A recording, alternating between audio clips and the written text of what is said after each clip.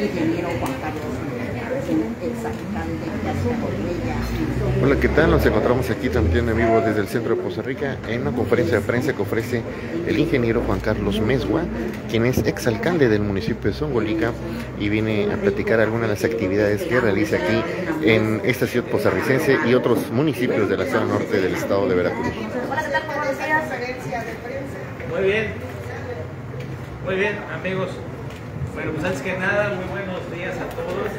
Estoy muy contento de estar en Costa Rica saludando a los medios de comunicación. Ya hace tiempo que no habían podido saludarnos.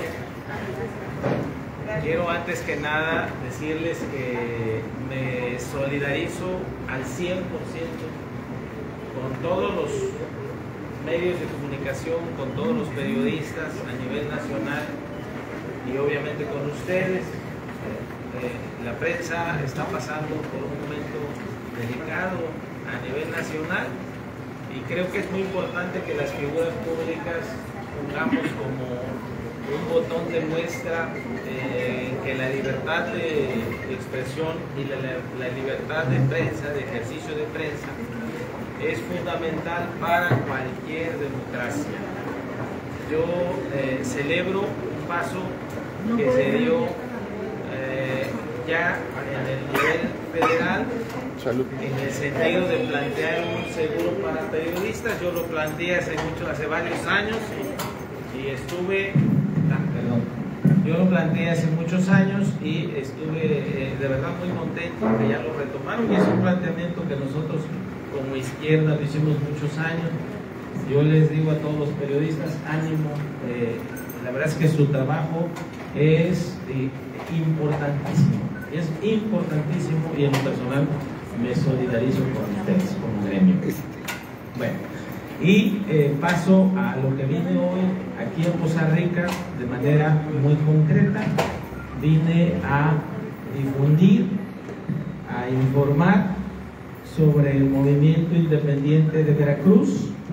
Queremos que en el 2024 no solo los partidos tradicionales propongan candidatos a diputados locales, a diputados federales, a senadores y a gobernador.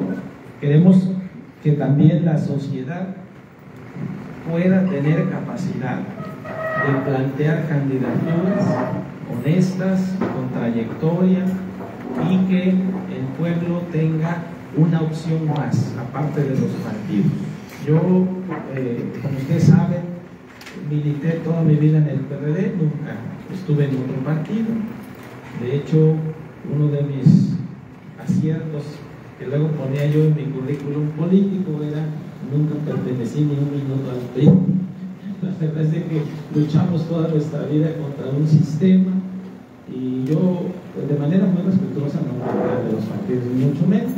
Este, creo que los partidos me han quedado a deber a la sociedad, todos, no hay eh, creo que no hay duda porque el 60% de los ciudadanos, 60, 60% ¿eh? no se identifica con ningún partido. Y mucha gente me dice, bueno, ¿y por qué te saliste de la aventura de los partidos? Simple y sencillamente ya no me siento representado ni por mi ex partido ni por ningún otro. Este, y por lo tanto decidí, junto con muchos dirigentes en todo el estado de Veracruz, impulsar un movimiento que tiene que ver justamente con renovar muchas conductas políticas que nos han dañado. Eh, ustedes saben que fui presidente municipal en un municipio eh, pues muy complicado, Zongolica es un municipio extensísimo, tiene 158 localidades y lo digo de manera contundente, con la ayuda organizada de nuestro pueblo pudimos hacer cosas que eh, no se habían podido hacer ahí y de manera muy humilde se los, platico. Resolvimos cosas que, por ejemplo, a nivel nacional es un pendiente de todos los colores partidistas, el tema de la seguridad. Nosotros ahí volvimos al municipio uno de los más seguros del país, con un mecanismo que tiene que ver con sumar al pueblo, es establecimos una policía auxiliar comunitaria con 1.200 elementos, este, mecanismo de la ayuda de cooperación con la gente y logramos ser uno de los municipios más seguros del país. Les doy un dato que en mis cuatro años de gobierno no tuvimos un solo secuestro gracias a Dios. Eh, hicimos cosas, eh, por ejemplo, eh, establecimos, igual con la ayuda de la gente, récord en el ejercicio de obra pública, hicimos 1.200 obras en el, municipio, en mi gobierno. ¿Y hay, cuántos años? En cuatro. Y gracias a Dios, fíjense ustedes, algo que no se le invierte y que nosotros invertimos, pudimos hacer casi 250 obras adicionales, que yo le llamo adicionales, que tienen que ver con apoyar a los templos, a las iglesias, a las capillas, que legalmente hablando no se puede ejercer dinero público ahí, pero nosotros tuvimos la manera, porque para mí construir ideales, construir valores en las familias también es fundamental. Y en lo personal es algo que discrepo ¿eh? de muchas personas este, que son de izquierda, yo soy izquierda, pero este, es el funcionario y lo que la gente quiere son resultados. Y, en una familia donde no hay valores, pues se admira muchísimo más fácil la agresión, la violencia. Por eso es importante pensar con la cabeza.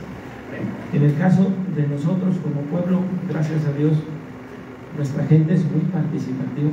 Les envío un saludo a todos ellos, seguramente me están escuchando y me están viendo. Y logramos eh, muchísimos avances con un ejercicio que eh, incluye a la gente. Eso, eso quiero plantearlo a nivel estatal, como una experiencia. Y que quede claro que no estoy destapando a la gubernatura ni mucho menos, pero sí quiero, junto con muchos dirigentes, ponerle esa posibilidad a la gente.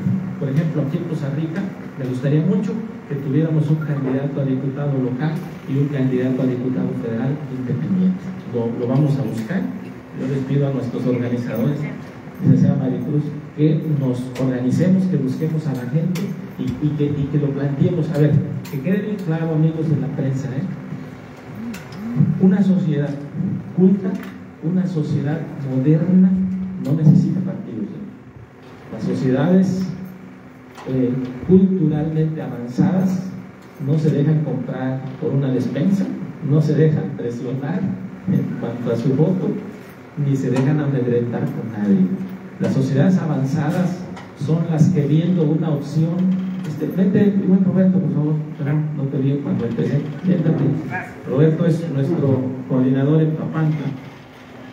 Las sociedades cultas, amigos, cuando tienen una opción ciudadana, de avanzada, responsable, simple y sencillamente hacen que gane esa opción.